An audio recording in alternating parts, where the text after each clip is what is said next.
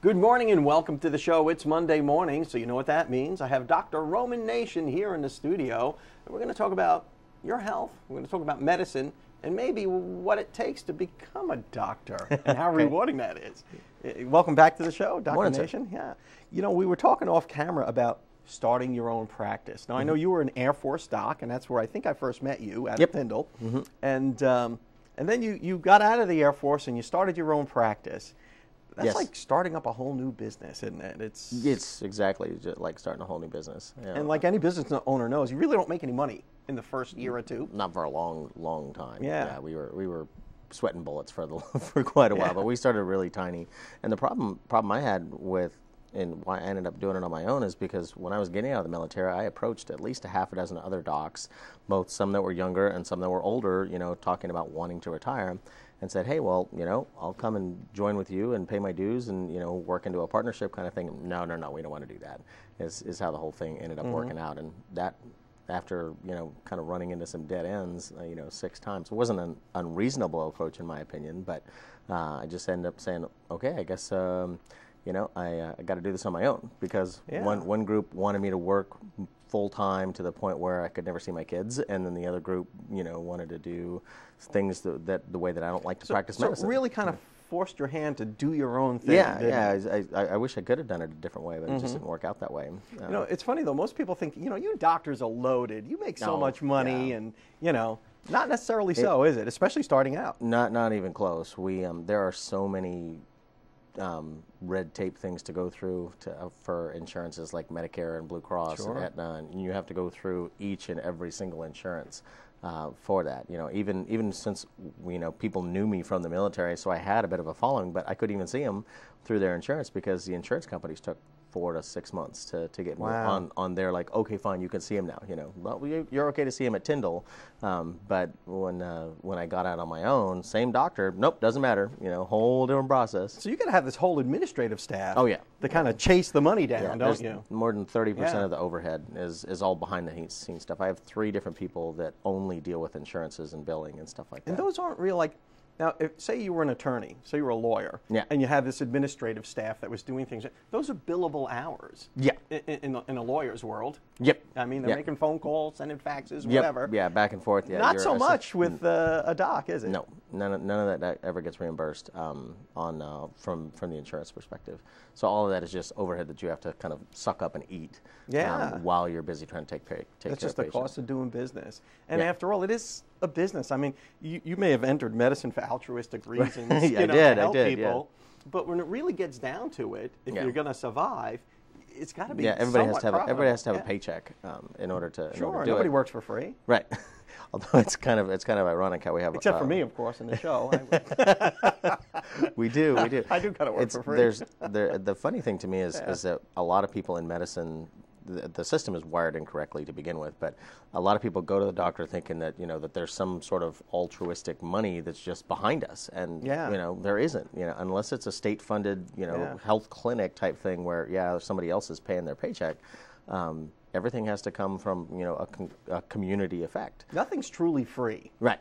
Yeah. I mean, it comes someone's from somewhere. paying for it. Yeah, it comes from somewhere, you know, and um, and you know we don't run extravagant stuff, and you know we don't try to overcharge patients and things like that.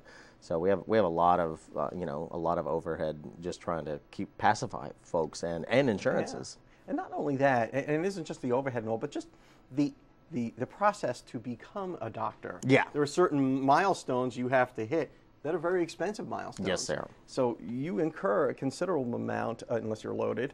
Um, Yeah, unless you come from money. ed- uh, yeah, educational debt. Yep. And Yeah, that's we, pretty much a fact of life, uh, life for most doctors, isn't it? they um yeah the that's one of the reasons why the the trend of going into medicine is kind of weaning down um, to a large extent. There's the population is growing so the the overall pool of people applying to medical school has not dwindled off very much. Um, but when you look at the the population growth compared to the amount of people that are trying to go into medicine is is actually getting smaller.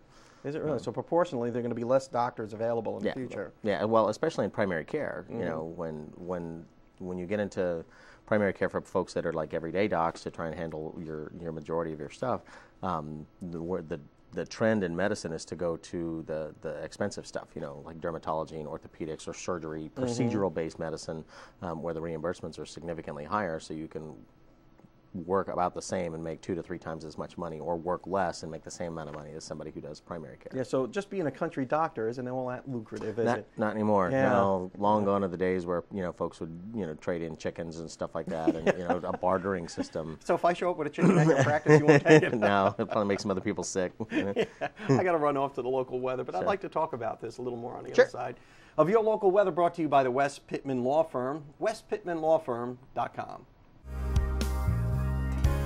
Welcome back to the show. I'm here with Dr. Roman Nation, and we're talking about what it takes to become a doctor and how to start a practice. it's uh, a really a long process, isn't Yeah. it? I mean, it, and it's a lot of hard work that goes into medical school, I would imagine. Yeah.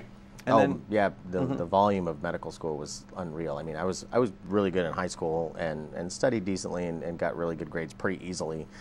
College wasn't all that bad, but the, the sheer volume of information that we got in medical school was almost about tenfold. Um, Wow. we were going through and had to literally memorize uh, about a thousand pages a month in medical school when, when we started. So it is a lot of study time. Yeah.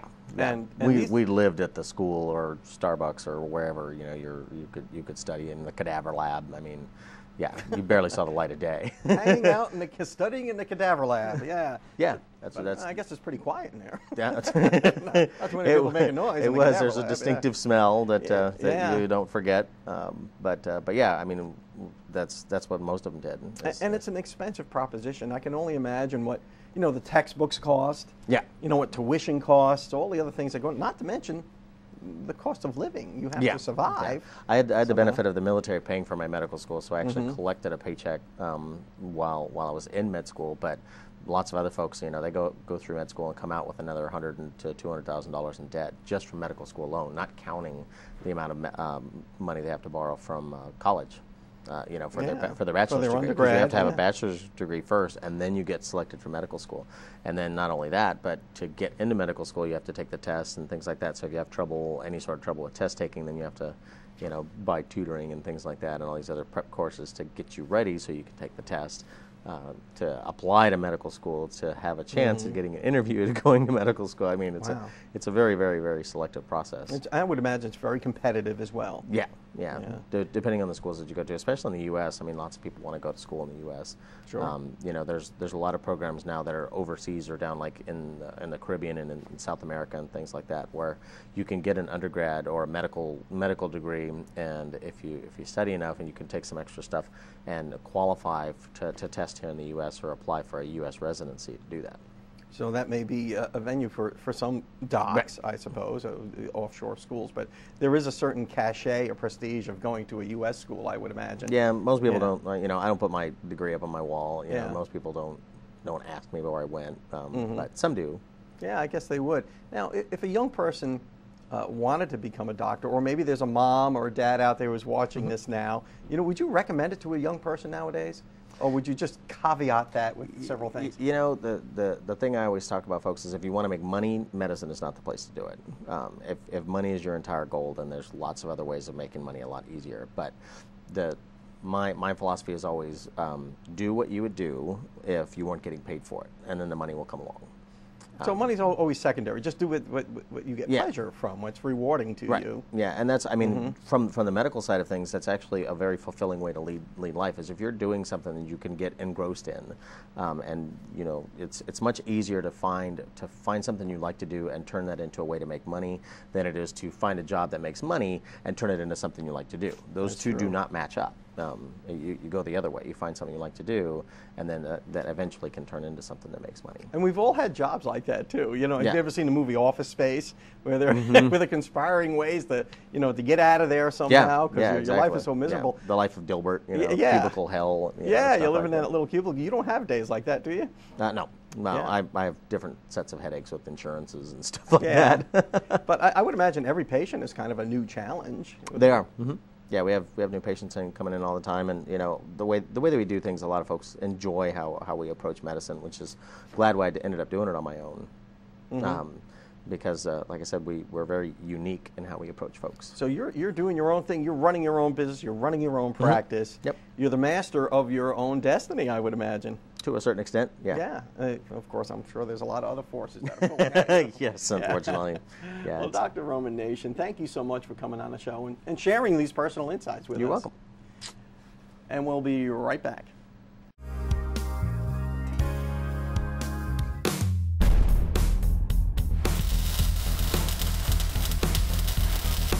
Hi, I'm David Lovett, and this is your Mad Hatter Minute. Your air conditioning system uses a refrigerant gas called Freon to create cold air. The most common reason an AC stops blowing cold is due to a loss of Freon. Refrigerant is a gas in the AC system, and very small holes in the hose, seal, or couplers can allow enough Freon to leak out to prevent the creation of cold air. If your AC system is not blowing cold due to a lot, lack of Freon, it's important to identify the part that's leaking, replace the part that's leaking, and flush the entire AC system. Over time, the inside of the AC system can deteriorate and become contaminated with various bits of debris. These contaminants can clog up the different components of the AC system, preventing proper circulation of the refrigerant. Even worse, contamination can restrict the flow of Freon to critical AC parts such as the, the AC compressor. Failure of these parts can lead to a costly repair. The only way to clean your AC system of contaminants is flushing the, the system when repairs are done. Not flushing the system is a substandard repair and will lead to more AC problems down the road. Lastly, if your AC isn't blowing as cold as it used to, check the serpentine belt. A loose serpentine belt or worn serpentine belt leads to belt slippage which puts additional strain on the compressor.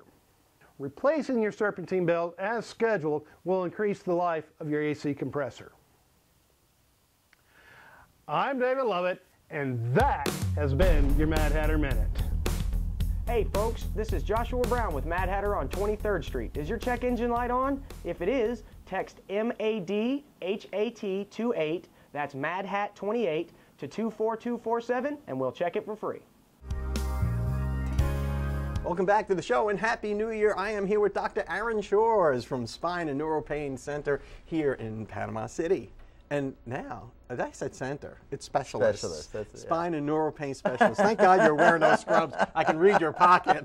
I do this every time. It's been going on like this for a long time now. I should be ashamed of myself. But at any rate, and I say Panama City, but you're in Chipley Mm-hmm. and soon to be in Marianna. Correct. Yeah, we're opening a new office uh, 1st of January in Marianna. Wow, congratulations. Yeah. Yeah. Now, now, what brings you to Marianna? Is, I guess there's a need for your specialty in that area. Yeah, you know, I uh, I enjoy Marianna. I enjoy the Mm-hmm. I-10 corridor, and and uh, I so, think so you're the one. I'm the one. I know Marianna's fine. The I-10 corridor. Yeah. Well, I don't know about driving yeah, on no, I-10, but the folks okay. up there are really nice folks. Sure they and, are, and, yeah. uh, we certainly enjoy going up there. So uh, I think there's a need, and I think. Um, you know, hopefully we can bring uh, bring something to the Jackson County area that um, you know that can provide a service to to the patients in that area. Yeah, I mean, humans are humans wherever they are, and we all share the same experience, and especially when it comes to, you know, pain. You know, people have chronic pain everywhere. Yeah. You know, not just in the little cities. Yeah, and there's a lot of folks up there I think in need, and you know the drive to Panama City to to Marianna, for example, is often Yeah. you know I hear oftentimes that that's a very difficult drive for folks to make. So Can you imagine that having chronic back pain and having to drive an hour yeah, or yeah. so? Yeah, Yeah. and I think that I hear that on a daily basis. So. I, I hopefully, um, hopefully the folks in Jackson County will, um, you know, we can, like I said, provide a service for them that will help them in, in, a, in their local area and support their community. So you uh, obviously have patients in, in Jackson County already who make the trip here to Panama City just to see or to Chipley. to Correct. you. Yeah. So uh, hopefully we can Mm-hmm. try to narrow their travel and, and uh, provide a different service to that area and, and hopefully fulfills you know some needs and help some patients. Yeah, and that's and that's what you do all this for, I suppose. Yeah. You know, when they put a new McDonald's up somewhere, they do a market study. You know, Right. Uh, you is is it that scientific, or do you just say, hey, I got a lot of patients up there, I need to be there? Uh, it's more the latter. I I, uh, Mhm. I don't know that I'm I'm uh, I do market studies to do that. Mhm. I just uh, you know kind of look at the patient population and look at uh, some of the dialogue we have with some of the other physicians in the area, and and uh, you know it's somewhat of a leap of faith. So we hope we're successful. Um, We Mhm. hope we can we can provide good care to the to the area and to the patients in that community, and and uh, if we can, hopefully we'll be there for a while. Mhm. And if- Good. If we can't, then we won't be. Well, you know, it's that easy. It's that easy. yeah. But uh, but I guess the thing is just bringing the care to the people, and that's what's important, particularly with people with chronic pain. Correct, and and we hear oftentimes, even in the in our Yeah. Chipley area, that you know the smaller towns, it's really tough sometimes to get specialists to come to uh, the smaller rural areas and some of these underserved areas. So a lot of times these patients have to travel not only to Panama City but to Tallahassee or, or other Sure. areas where they have quite a long commute. A lot of times these patients don't have a lot of extra money, so even the fuel cost these days it is uh, is a bit onerous for them. Um, so again, I think if we can bring our, our services, um, you know, to the rural communities and be able to provide some care that helps people locally, I think that's a good thing. Yeah, I think it's a great idea just bringing it out to the people like that. Now you've uh, also bringing some new therapies online soon, and I know we talked very briefly during We the break are. about Yeah, this. the first of the year, we're going to start doing. Um, there's a, a new technology out uh, using uh, electricity in the ear. Actually, we have a little device that we're going to start using. Looks very similar to a very small hearing aid, Mm-hmm. But it actually works on some of the same electrical circuits, if you will, that, that acupuncture works on. And there's a very small wire we can put inside the ear that you can't even hardly see. Uh, that a patient will wear for a couple weeks at a time, but we can, depending on where we place that wire, uh, we can control pain in different parts of the body. So uh, the patient can wear it for a couple weeks at a time. It, again, it's very small, looks like the new state of the art hearing aids, you can hardly see it. And then they take it off for a month or so, and if they need to reapply it down the road, they can get several weeks uh, or uh, months of relief with it without the need for frequent injections or medications. or um, long car trips. or long car trips, Yeah. right? And it can be done right in the office, uh, very this'll be- minimally invasive. And this will be available in all, all you know, Uh, in, in Chipley, Panama City, and Marianna. correct in all three of our offices, Mm-hmm. starting on the uh, first of January, uh, just in a few weeks. Dr. Aaron Shores, Happy New Year, and thank you so much for everything that you do to keep people out of pain. Thank you, sir. Happy New Year. Same to you. And we'll be right back after these messages. Welcome back to the show. I'm here with Thomas Winterman, who is the author of The Thrive Life, a great self improvement book and kind of guide you on how to be a better you. Thomas, welcome back to the show. Thank you. Here it is, the new year. We're staring down the barrel of 2015. That's right. What's our Thrive thought for the new year? It's to get smart about your goals. Get smart about your goals. Yeah, people. Meaning what? Well, people make New Year's resolutions almost every year. You know, if you're like me. And then most of the time, you fall off the wagon. Yeah. You know, long before the year is done. Or you can make an unrealistic resolution too. That's it. That's it. like it. I'm going to make a million dollars this year. And well, people Yeah. make mistakes. They blame themselves when they fall short of their goals, when in actuality, they had bad goals. Mm. so we're, we're not looking at it the right way. You're It's- sounding like, a little bit like a dream crusher right that- now. That's it. Thomas. Like it's you know, it's not your fault that you know you couldn't suddenly compete in a triathlon because you know no human person is capable of doing that. So slow down and make smart goals, goals that you can achieve, and you'll find yourself maybe getting to a point where you achieve those resolutions. I have heard and read, or maybe I just dreamed it. Uh, I have, I've read that you've got to put at least 10,000 hours into any endeavor Mm-hmm. before you start to become really successful at it consistently. Yes, yes, and you know I say all the time, goal setting is a skill and not a talent. That means Mm-hmm. you can't just wake up and do it one day a year and be good at it. Right. It takes time, it takes practice, it takes tools and knowledge. It's not something people just wake up and know how to do. You have to learn how to set good goals for yourself. And above all, it takes time. That's right. You have to have respect for the for the harvest. Mm-hmm. That's right. As Covey would say, Yeah. you know, you have to have respect for the harvest. Plant the seeds, you got to nurture them. It takes a season or two to get that full crop, to get the bounty of your work. That's right. So, uh, so what type of goals should we be looking at? What would you characterize as an attainable, reasonable goal? Well, it depends on what you want. And Mm-hmm. that's really the, the determining factor because nobody's going to get anything that they don't really want. Mm-hmm. So make your goals something that you really want, something that you want to get. The more motivated you are, the more likely you are to achieve it. For most people, it's something like weight loss. Right. So let's go ahead and say, you know, the average um, healthy weight loss, they say, is one to two pounds per week. So if you're looking at a month, you're looking at a max of eight pounds, four to eight pounds. I want to lose five pounds in a month. That's reasonable. Mm-hmm. That's good. That's attainable. That's something you can do. And in six months to a year, you can reach your goal. That's it. And If then got that much weight to lose. You've got to get really specific with it too. I want to lose five pounds. How are you going to lose five pounds? Are you going to diet? Are you going to exercise? What kind of diet are you going to do? What kind of exercise program do you want to do? How many days a week? How long during each day do you want to do it? You've got to get really specific with this stuff when it comes to goal setting. So the goal setting isn't just like one overarching goal that's kind of vague, like I'm going to lose 30 pounds this year. You're going to say, yeah, I'm going to lose 30 pounds, but I'm going to do it in six months at five pounds a month. That's right. Every And- goal should and, have. And I'm going to lose those five pounds by Yeah. eating less and going to the gym three times a week. That's you really got to plan it out. there should be micro goals within each overarching goal that will help you get to your ultimate end. I just did public math. That's pretty amazing. uh, so how do we get your book to improve our lives for 2015? You can get it on Amazon.com. You search for the Thrive Life, or you can search for my name, Thomas Winterman. Okay, Amazon.com, The Thrive Life. Read it, get it. Happy New Year. We'll see you next time.